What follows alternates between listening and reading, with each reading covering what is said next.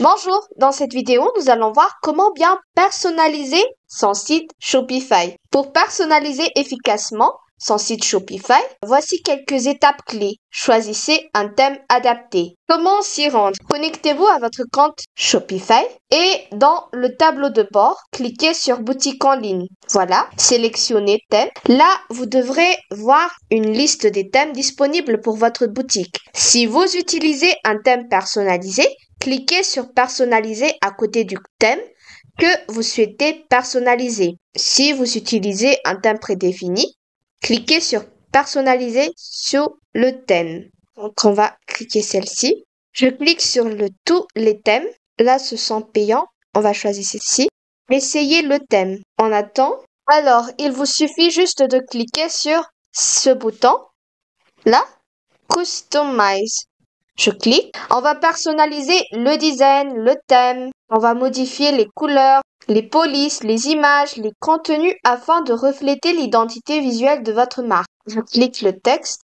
Créa. Voilà. On va changer l'image. D'accord? Alors, vous allez ajouter l'image, ajouter des images. Je sélectionne, ouvrir et on attend le chargement.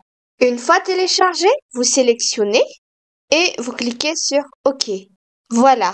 Vous pouvez ajouter d'autres images, d'accord? Animation, vous pouvez changer celle-ci, par exemple. Ok, voilà. Vous pouvez ajouter euh, d'autres photos, thèmes, voilà. Une fois que vous êtes satisfait sur l'image, vous pouvez modifier aussi les polices. Vous pouvez le mettre en gras.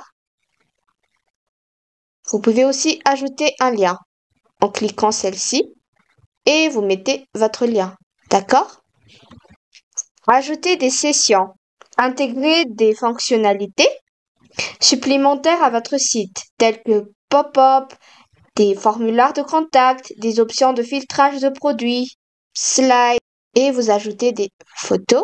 Ajoutez aussi d'autres sessions en cliquant Add Session, contact fort, Add, email signal, et vous le modifiez. D'accord? Des images. Voilà. Une fois que vous êtes satisfait, ajoutez du contenu engageant. Créez des pages de produits attrayantes avec des descriptions détaillées, des images de haute qualité et des vidéos si possible.